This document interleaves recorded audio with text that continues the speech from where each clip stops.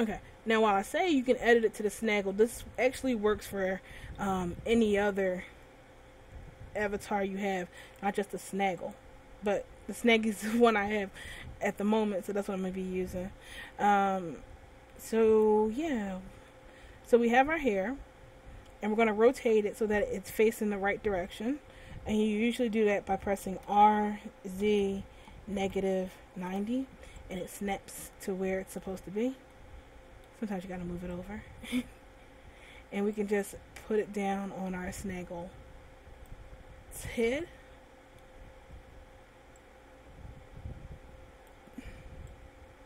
And line it up the way it's supposed to be. Or at least however we want it to be.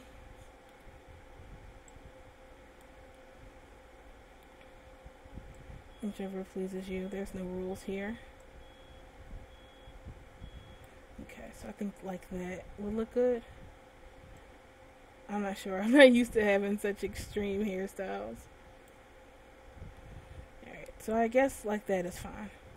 Um, if you want to see what it's like, what its textures, uh, you can go. Let's let's go back to the layer with the hair, and we're gonna press textured mode, and then we're gonna press tab, and we're gonna press A and select everything. Then we're going to go to open and we're going to go to the folder, our project folder, which was hair stuff, and we're going to pick the red texture that was on there, that way we can see it. So then we have our red hair so we can look at it this way. But the problem with this is that the snaggy uh, texture doesn't always come in. So I just, when it does this, just put that uh, generated map on there. That way it's everywhere. Let's press A. generated map. There we go. That way we, we have something. I mean, if you have a snaggle skin, you can just put it on there as well, but I don't right now. So we have our hair and we positioned it on the head the way we like it.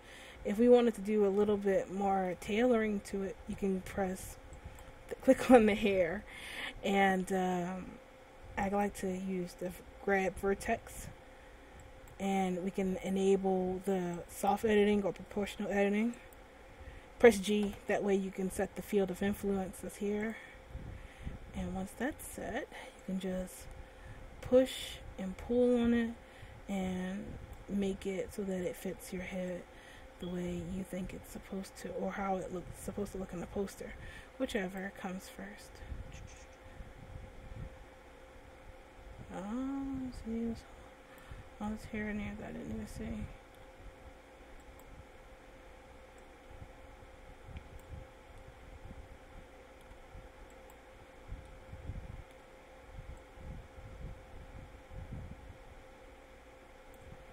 Okay, so I guess it's in a place that it looks right.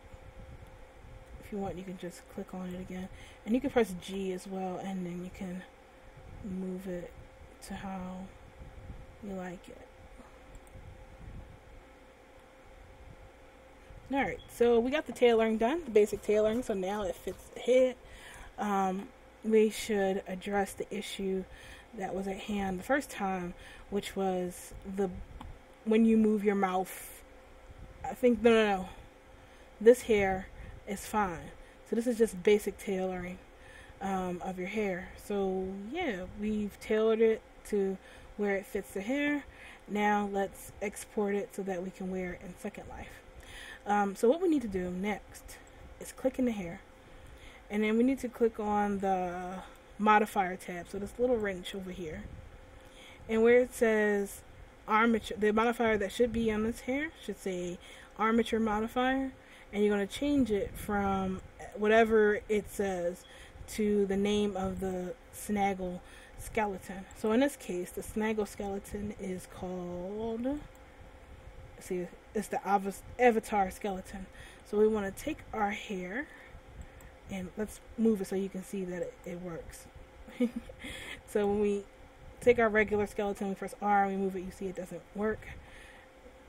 So when we click on it now and change it from avatar 2 to just plain old avatar, you see when we move our skeleton now, effects. Alright, so there you have hair that has been fitted to your dome. It's no gap, it's covering everything. Alright, it's time for us to extract it. But before we do so, there's something very critical that I absolutely forgot about until just this moment. I'm so sorry. Before you go and export your hair, you're going to need to separate it because sometimes um, when you bring in hair, it can be really big and you'll get a lot of errors. So the first thing we need to do is to break it up. Plus, it's easier to add the texture to it when it's in separate pieces. So click on your hair and you press tab and then you press A and then you press P and then you separate by materials. And once you separate by materials, you'll see that this is uh, the part that's solid, and then there's going to be the part with the fringe. So that makes it easier to texture it and know which part goes to what. So now we have to do next is to press A and select it all. And this is one of the main reasons why I say put stuff on its own layer because you can just press A and select it all rather than, oh no, I accidentally selected I accidentally selected the avatar. Nope, press A and you can select all the hair at once. So yeah, A and select all, and then we're gonna go File, Export, uh, Avastar, and I'm going to find my hair folder. I'm just gonna name this red dot day. Oh, red one dot day, and then export. I might get the nag screen for it being really high, and if it doesn't upload, we'll show you how to fix that. So let's just wait for it to export. Press pause and wait for that to clear up. I do think it's kind of funny that whenever I press pause, that's when everything just goes. Like it's the shy guy. Like, don't look at me, I'm loading. Okay, so we exported it. Let's import it into Second Life. So we have our hair, so you can see what it looked like. Not fitting. So let's try it on. So we're gonna go to build and then upload and then mesh. Who is that and why are they calling to me? Uh, so we're gonna see red one. Yeah, wait for it. Wait for it. I'm a little worried about that yellow text right there.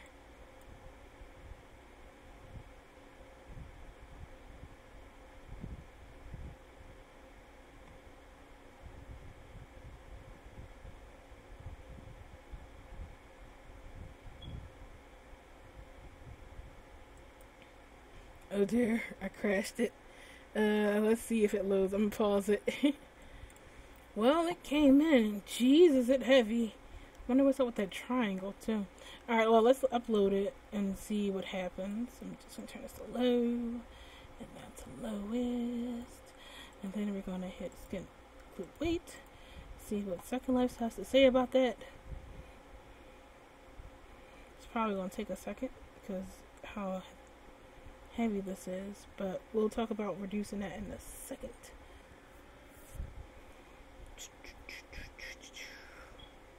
It's just taking forever to calculate it, isn't it?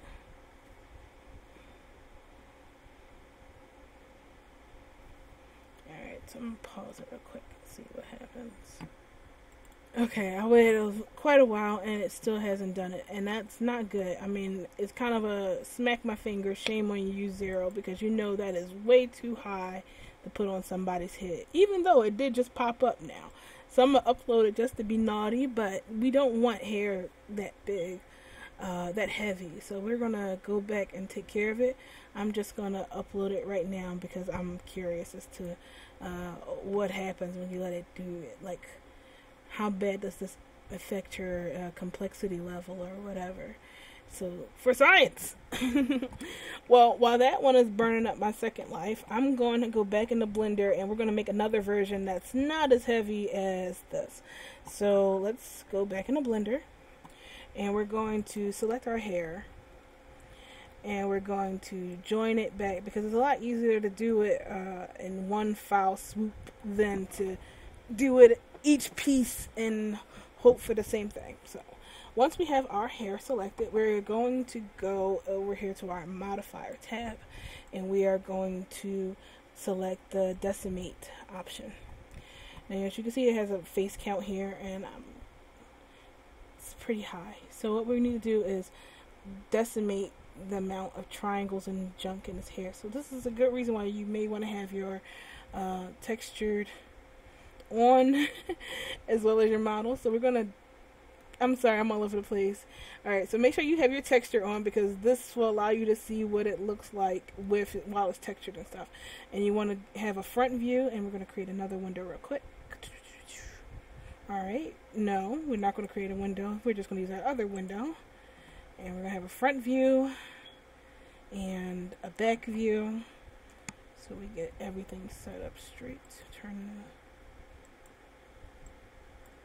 cheese mm, shading display textures. Alright, so we have a front view, we have a back view, we have a shaded, and we're just going to start decimating and we're going to stop right before it starts looking wonky. So keep your eye on it and slowly decimate, but keep your eye on the, make sure to look over here at the mesh.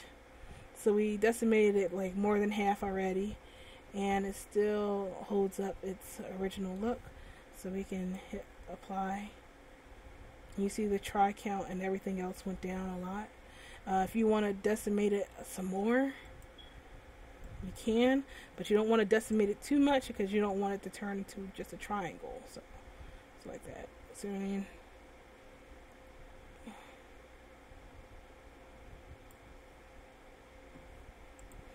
Just keep your eye on it. See if it makes any changes. So far it's not changing. Oh, wait. Alright, I think that's still good. We got it down dramatically. Alright, so let's leave it like that. I don't want to decimate it anymore. So we're going to do this. I'm going to press like we did before and separate it. Yeah, the the topology is going to go to hell for this, but hey, that tri count's going to go down. So you can still do it. So we're going to separate by material again. And we're going to press A and select it all, and then export again. Um, so my documents, here stuff and we're going to use red 2 and then export it so you see it's going a lot faster than it did before we don't have to pause it at all and we didn't get a nag screen um, so let's go back into second life. Uh, let's take off the original. And let's put on the huge one. See what it does to our complexity. It's taking forever to load. It's never a good sign. Alright, so I want to upload it here. It didn't do that much damage to our complexity, but we did get this wacky triangle, which I have no idea what that's about.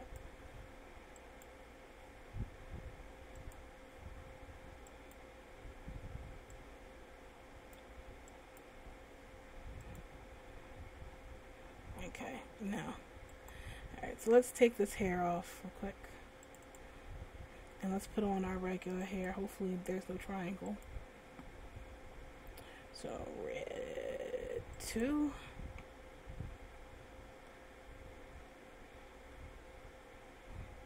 Alright, no triangle this time. And that's a little more reasonable. So we're going to turn low and lowest to zero like we always do. Add our skin weight. Calculate weights and fees. Look how much faster and lighter that is. 13L. 1 prim. Good, good, good. And then we slap that on. And there we have our hair like fitted to our snaggle. Um, so what I want to do now is add the textures because I'm trying to save money here. I mean, if only some people would donate, then I would have more spending money. Just saying, y'all. Select the hair and the fringe. Hit OK.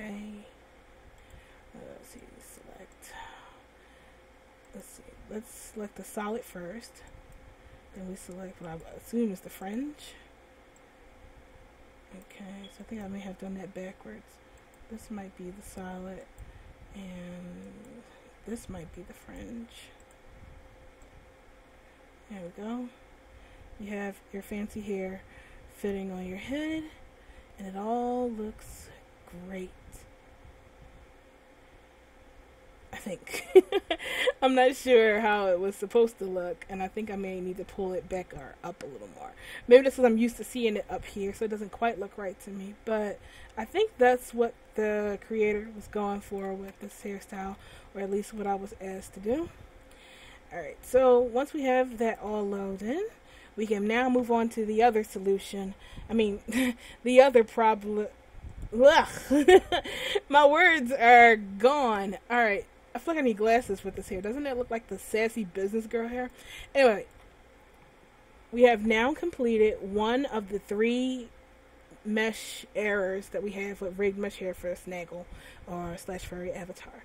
The hair not fitting. So I hope that helped you out with this, but we're now going to move on to our other two errors and um, show you how to fix that.